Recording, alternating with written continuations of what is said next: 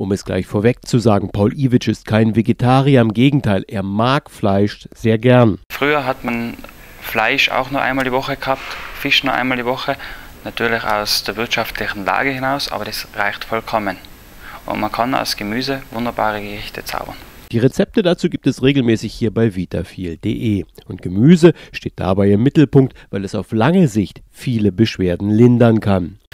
Man hat mit den Gurken zum Beispiel, wer an Verstopfung leidet und Gurken täglich zu sich nimmt, das ist ein Heilmittel, eigentlich ein natürliches, das regt die Darmtätigkeit an und der Darm ist einfach eines der wichtigsten Organe in unserem Organismus. Wenn der gesund ist, dann ist man eigentlich überhaupt gesund.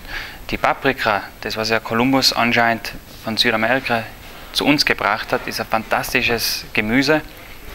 Das regt ähm, Herz, die Durchblutung für Herz und Nieren an, beugt Rheuma vor. Also Rheumakranke, die sollten sich einfach gesund und bewusst ernähren, weil das festigt auch das Bindegewebe und ein schlaffes Bindegewebe kommt natürlich auch Rückenschmerzen hervor.